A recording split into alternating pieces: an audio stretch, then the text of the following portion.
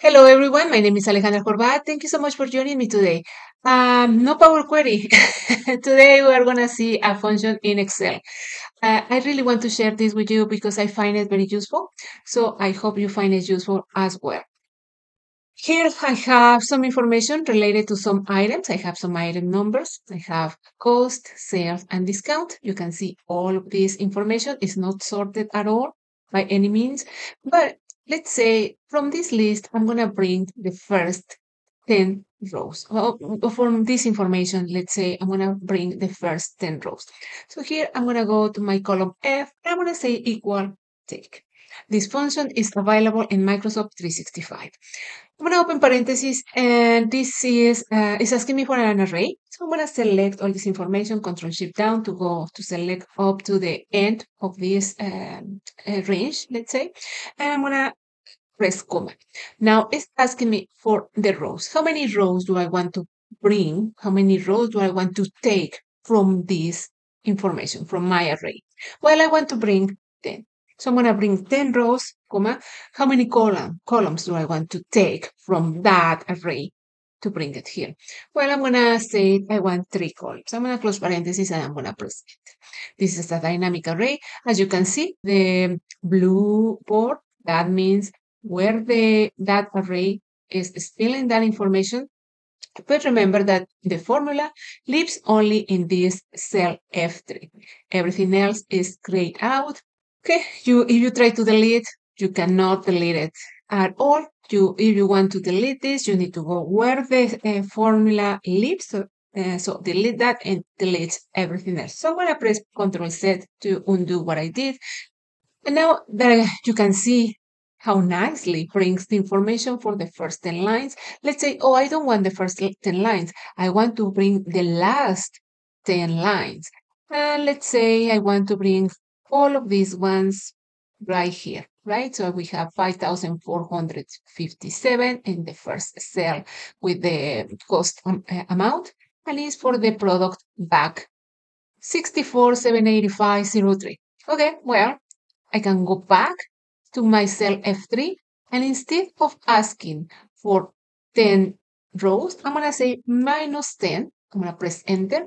And here we have that information from the last 10 rows. A negative number, if I provide that, that information here, the negative number will bring the last lines. The positive number will bring the first lines. Excellent. Well, that looks very nice. How can I sort this information? Well, we can mix this with the sort function. I'm going to say equal sort, open parentheses, and it's asking me for the array. The array will be the result of my function take. So I'm going to, and actually, I'm going to go back here. So sort, open parentheses, my array, my array is the result of my function take, comma. I need to provide the sort index. Which column do I want to use to sort my information. Let's say I want to use the column cost to sort this information. That is column two, right? Item is column one, cost is column two, and invoice is column three. That actually should say sales. I can change it later. So, so I want to sort this information for the uh, second column. So I'm going to press two. That will be my sort index, comma. And I want to sort this in ascending order, the order that is the default, or if I want to sort it by descending order, I need to provide the minus one. So I'm going to say minus one. Remember, this is an optional parameter. So I'm going to say minus one, and I don't want to do anything with the column. I'm just going to close parentheses, and I'm going to press enter. Now you can see that the information can be sorted by column two in descending order let's say, oh no, I don't want to sort in this way. What I want is sort my source first and then grab the first 10 lines. Okay, let's do that here. But before we do that, let me change this to sales and control C and I'm gonna go here and enter. See it? Okay, so once I'm here, what I'm gonna do now is equals sort open, parent, eh, open parentheses, and it's going to ask me for an array. Let's go back here, select our source of information up to the end of this uh, range. I'm gonna go, uh, I'm gonna provide the comma. What is gonna be my sort index again? Well, the column that I want to sort by, let's say, is gonna be column two, right? Again, comma. Do I want this in ascending or descending order? Let's say, again, descending, minus one, and that's it. And I press enter. Okay, so I'm sorting everything here. My array is the full range. That's okay because that's why we're going to use the take function. So after the equal, right here, I'm going to say take, open parentheses, it's going to ask me for an array.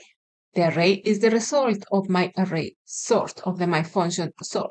I'm gonna go to the end, I'm gonna uh, press comma, and it's gonna ask me how many rows do I want to keep. I want to take 10 rows from this uh, array, comma, how many columns. And here is what I'm gonna say, I just want to keep three columns. I'm gonna close parentheses and I'm gonna press enter.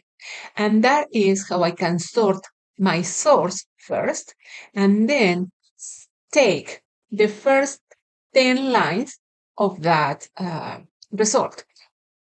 Let's say I don't want the first 10, I want the, the, the last 10. Well, I can go and change that for a minus. Okay, and I press enter. And now here we have the last 10 lines, three columns for, from this source. Very easy, very useful, and I hope you like it. The only thing is that it's only available in Microsoft 365.